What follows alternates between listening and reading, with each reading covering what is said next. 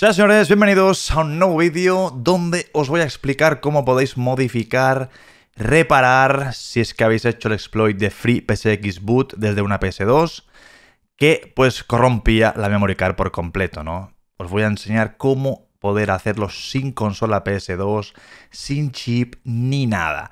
Tengo que agradecer a Experiments, ya que me ha estado ayudando sobre esto, sobre el cacharreo y bueno, ha puesto esquemas y me lo ha hecho muchísimo más fácil gracias a él. Como os digo, no hará falta ni que tengáis una PS2, o sea, nada de nada más podéis hacerlo todo en vuestra casa sin ayuda. Antes de empezar, chicos, me gustaría agradeceros a todos los que os pasáis por Instant Gaming a comprar vuestros videojuegos, vuestras suscripciones del PlayStation Plus, del Now, ya que aquí lo podéis hacer muchísimo más barato, no es recomendable hacerlo desde la consola. Yo ya he ahorrado un montón de dinero, tanto yo como muchos de vosotros, pues haciendo las compras aquí. Tendréis los links, como siempre, en la descripción del vídeo.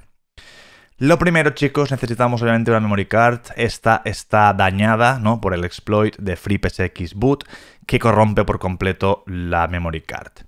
Necesitaremos una placa Arduino, en este caso la 1. Esto ha costado pues unos 6 a 8 euros sea muy barato, ya viene con el cable incluso USB para conectarla al PC.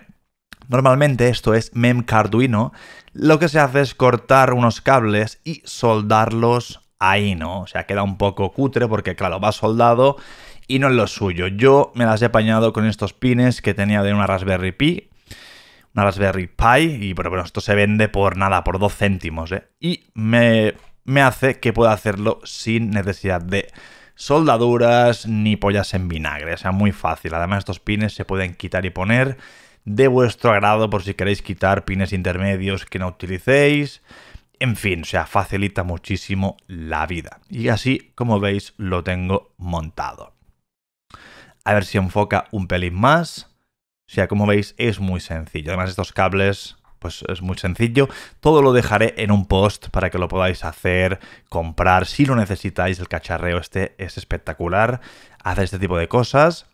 Así que tendréis todos los links. Aquí como veis yo tengo ya todo lo conectado. Os dejaré un esquema el cual vais a ver perfectamente dónde tenéis que pinchar cada uno de vuestros pines, excepto el número 5, que en vez de ir a la toma de, de 5 voltios, pues va a ir a 3,3. Nada más.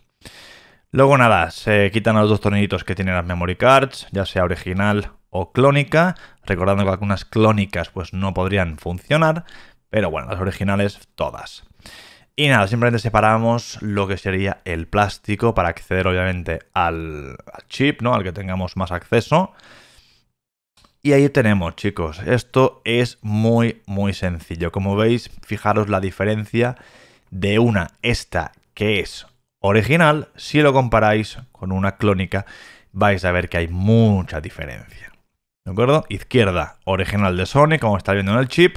Derecha, un clon o una tarjeta de marca blanca no oficial.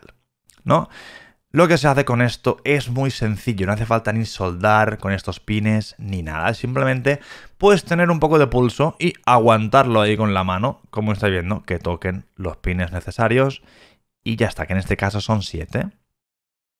Yo lo he hecho aguantando así con el dedo. Aquí podéis poner un trocito de goma y cerrar la tapa y que os quede enganchado. Podéis utilizar cinta, lo que queráis. Ahora, en el caso pues que no queráis aguantar nada, ya sería pues hacer un pequeño punto de soldadura en cada uno de los pines, ¿no? Y ya estaría. Y esto luego se conecta al ordenador, ¿de acuerdo? Lo conectamos al PC e iremos a la página oficial a descargarnos obviamente la aplicación de Arduino y también Memcarduino que es el software que flashearemos a esta placa. Aquí incluso os indica los pines y todo lo que hay que hacer. Es el post oficial para eso. Una vez hecho esto, abriremos, como no, el programa de Arduino con o sea, el memcard Arduino, y aquí lo que haremos es lo siguiente. Iremos a herramientas o preferencias y buscaremos aquí nuestra placa y la seleccionaremos. ¿De acuerdo? En este caso, la Arduino 1.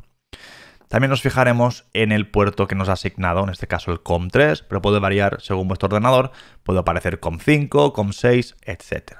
Y luego le daremos aquí a esta flechita de subir para que el memcard Arduino se flashe a nuestra placa. Una vez hecho esto, utilizaremos esta aplicación, iremos a preferencias, seleccionaremos el COM donde está ubicada nuestra placa, aplicaremos y ya iremos directamente a leer, por ejemplo, la memory card. Haremos una lectura de lo que hay dentro de la memory card. Vais a ver que empezará a leer. Esto aquí tenéis que tener ya vuestra memory card pues aguantada, conectada con los pines en la placa y todo conectado. Y si veis que os da un error que aquí no empieza a leer es porque no está haciendo contacto bien en la memory card, que a mí me ha pasado una o dos veces. ¿De acuerdo? Es simplemente verificar que esté tocando los siete puntos, estén tocando bien y ya está. Como veis, ya me ha detectado, ya podíamos guardar incluso las partidas en nuestro ordenador, todo. Ahora en este caso voy a formatearla para poder recuperar esta memory card, ya que quedaban obsoletas, quedaban corrompidas y no se podían utilizar ni en PS2 ni en la consola PlayStation 1, bloqueaba. Así que no he flashado, vamos a probarla que tenemos acceso al, al slot de memory card para poder guardar partidas porque si no, aquí se desbloquearía la consola. Y como veis, en esta ocasión ya la hemos, la hemos recuperado. ¿De acuerdo? Cosa que con um, Aniquilator V2 desde una Play 2 tampoco se podían recuperar estas memory cards con el exploit ejecutado. Así que la tenemos perfectamente. Ahora lo que haríamos ya es pues piratear esa memory card desde cero, sin Play 2 ni nada. Descargaríamos el FreePSX Boot, que lo tengo aquí, lo ubicaríamos en este programa, abriríamos, abriríamos el FreePSX Book de nuestra consola, de nuestro serial, ¿de acuerdo? Y nada, simplemente sería ir a Hardware y en vez de darle a Read o Format, iríamos a Write, a escribir el hack en la memory card. Recordad que este hack corrompe las memory card y solamente se puede formatear o se puede recuperar esa memory card con esto que está viendo en este vídeo. ¿De acuerdo? Una vez escrito en la memory card, ya no hay otra. Ya tenemos la consola otra vez, o sea, la memory card pirateada sin necesidad de una Play 2 ni nada. Simplemente conectamos, abrimos tapa, encendemos consola, nos iremos a la sección de nuestras memory cards, ya que no hay disco y está la tapa abierta, entraremos dentro y nos dará el pantallazo naranja o verde, dependiendo en qué modelos de consola lo da naranja, y en otros lo da verde como está viendo aquí. Después de esto aparecerá pues el menú Uniform, pantallazo azul y aquí pues es ya donde vosotros tendríais vuestros discos de PlayStation 1 quemados y nada. Esto significa que podemos ejecutar juegos sin necesidad de chip, sin necesidad de una tener una consola PlayStation 2 para poder escribir en la memory card, o sea, tan fácil como tener esta plaquita Arduino que cuesta 6 a 8 euros, o sea, incluso más barato que alguna memory card y como veis lo podéis hacer todo casero, ponemos el disco, sacamos tarjeta, apretamos R1 y ahí estará booteando, arrancando ya nuestro juego. Así que nada, fieras, espero que os haya gustado este vídeo. Si fue así, podéis agradecerlo, como siempre, mediante un gran me gusta. Suscribiros si os gusta el contenido. Dale a la campanita para que os avise YouTube cuando subo nuevos vídeos.